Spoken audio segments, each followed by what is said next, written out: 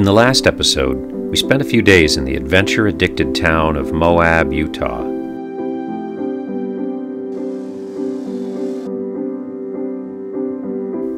We visited the vast and beautiful Canyonlands National Park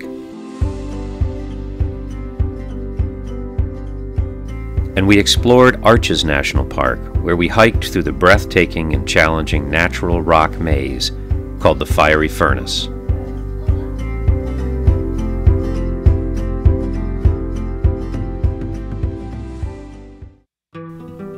From Moab, Utah, we traveled south on Route 191 to Cortez, Colorado.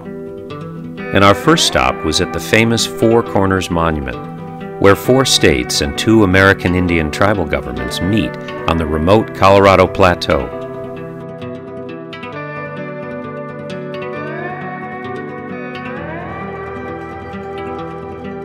As we arrived, a couple of tourists were arguing with one of the local Navajo about the precise location of the actual geologic point. And surveyors will come by from time to time and tell us, you know, that if you get five of us to do a job, we're gonna have five different answers for you. So add that into the equation. First surveyed in 1875, the question of the exact location was settled by the U.S. Supreme Court, which ruled that its present location is the legal corner of the four states.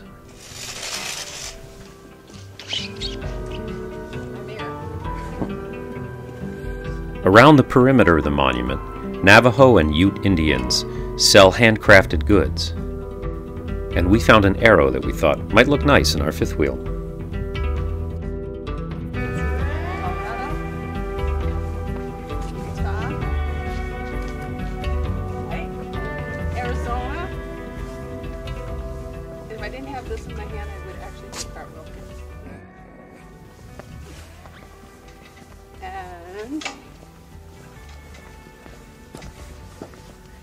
Got them all. Okay. That's a good idea. Yeah. Been all around it. And I shopped in all four states too. Great. Only made one purchase though.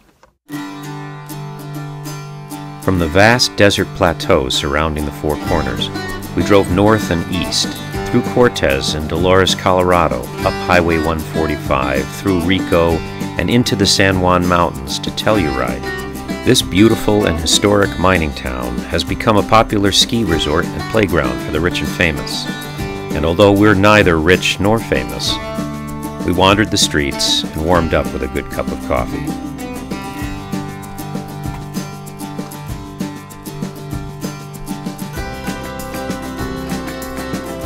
and on the drive back to Cortez, we spotted a herd of elk grazing in the last rays of the setting sun.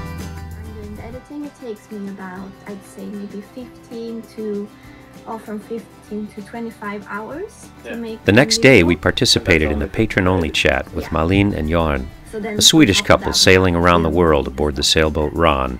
Um, We are proud to sponsor them through Patreon. how it is. A link to their channel is in the description below. Not far from the town of Cortez, Colorado, is the Mesa Verde National Park. Morning. I'm good. How are you doing? Good. Do you need a map of the park? Nope, got one. Thank you. Established in 1906 by President Theodore Roosevelt, the park covers more than 50,000 acres and contains more than 5,000 archaeological sites, including more than 600 cliff dwellings.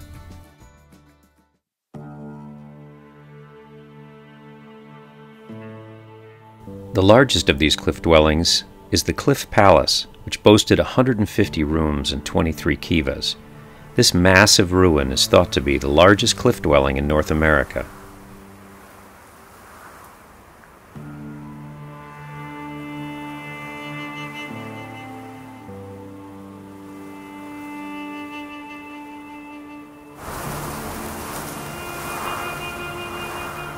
First occupied 7,500 years ago or so, the mesa flourished until about 1285 when drought and social instability caused the archaic Puebloans to abandon the area.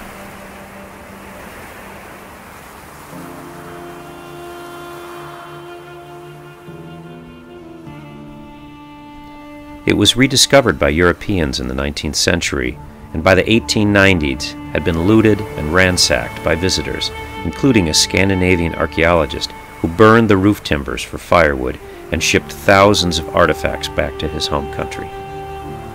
This looting and destruction of the cultural artifacts led to the creation of the Federal Antiquities Act of 1906.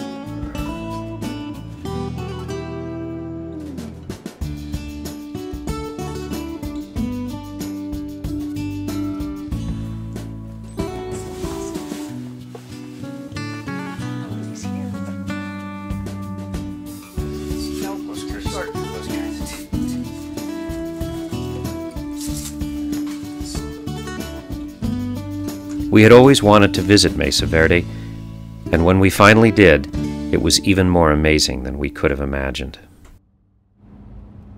If I could hear my father's voice, he would tell me to move on. From Mesa Verde National Park, we headed west, past the Four Corners again, and into Utah, on our way to Monument Valley. Thanks for watching. We hope you liked this video. If you did, give it a thumbs up, and please don't forget to click subscribe.